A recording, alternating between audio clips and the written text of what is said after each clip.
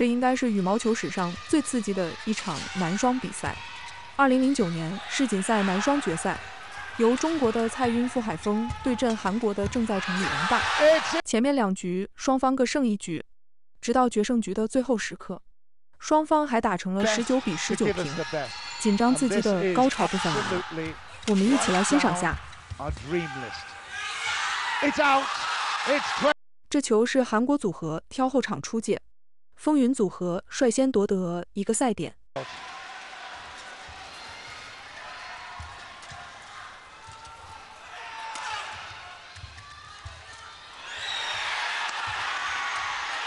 Korea still in it, they are. 连续后场跳杀，非常精彩。韩国组合强行挽救一个赛点追平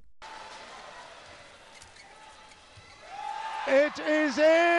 界内球，在高度紧张的情况下，韩国组合出现判断失误，风云组合的第二个赛点出现了。No, not yet. He keeps it short. Yeah, served out wide. That was clever. Spectacular. It's short.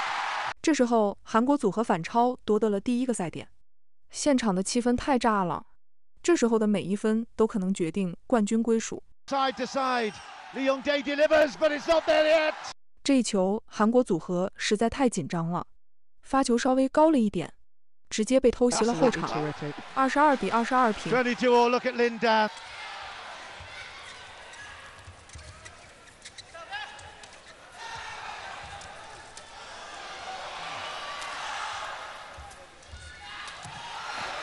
It's out of court. It's now for the second time. World Championship point to play this one. It is fantastic. And short. Not yet. 好球！风云组合连续的后场杀球，再次追平。这时候双方都挽救了两个冠军点。 Oh, it's a brilliant set. 发球直接偷袭后场得手， 双方都太紧张了，只盯着往前。风云组合轻松拿到了第三个赛点。But what a way to finish！这时候判了韩国组合的一个发球违例，太关键了，这也是高度紧张造成的，送了风云组合第四个赛点。jumping jippoint China。It's out. On to that top step of the podium.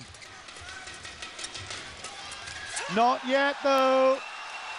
I've lost count, Jill. Is that the fifth or the sixth? Yonde, who puts in a beautiful drop.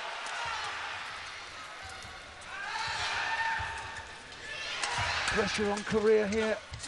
Oh, it's 又打平了，风云组合已经浪费了五个赛点，太考验双方球员的心理素质了。 Six all. Yongdae, Yongdae. He can do it here. He has not done it here. 打出了底线，这是韩国组合的一个不错的机会球，可惜没有把握住。